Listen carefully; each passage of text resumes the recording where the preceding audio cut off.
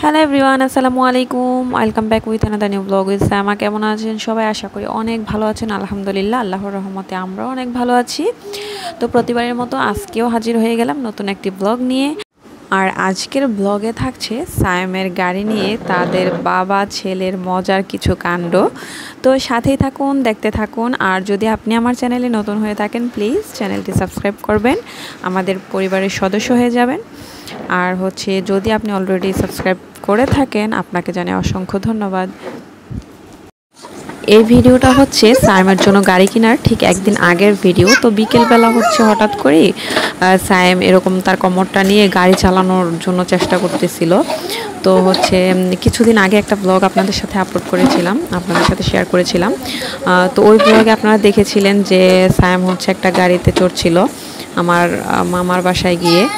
তো হয়তো তার ওই গাড়ির কথাই মনে পড়েছিল। তারপর হচ্ছে এভাবে খেলাধুলা করতেছিল। তো আমার মনটা খুব খারাপ লাগে যে এত কষ্ট করে চালাচ্ছে। কারণ কমোটের তো আর চাকা থাকে না। অনেক কষ্ট হচ্ছিল প্রায় পনেরো বিশ মিনিটের মতন এটা নিয়ে খেলা করেছে এভাবে। তো আসার পরে ওর বাবা সন্ধ্যায় আসার পরে বললাম, তারপরের দিনই হচ্ছে দুপুরের দিকে গাড়ি নিয়ে আসলো তার ছেলের জন্য। তো এই হচ্ছে অবস্থা। তো এখন হচ্ছে একদম দুপুরের সময়, ঘড়িতে ঠিক দুইটা দশ বাজে।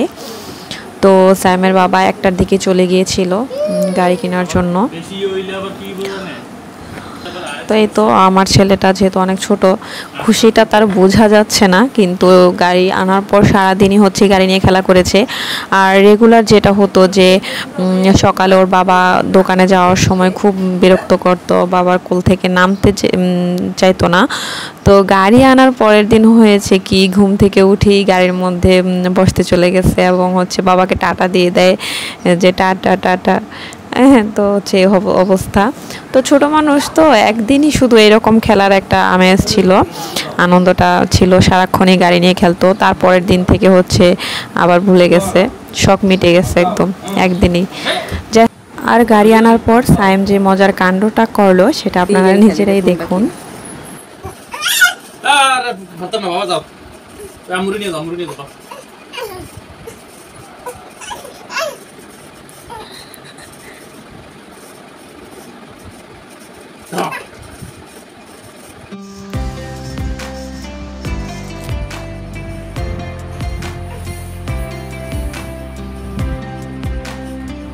গাড়ি তো সামনের দিকে চলে যায়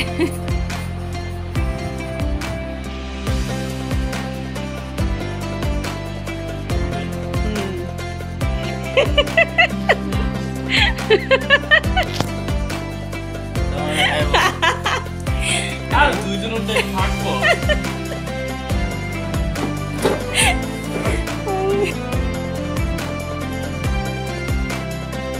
তো সায়েম যে ওর বাবাকে গাড়িতে বসাতে চাচ্ছিল, সেটা আমরা প্রথম বুঝতে পারিনি।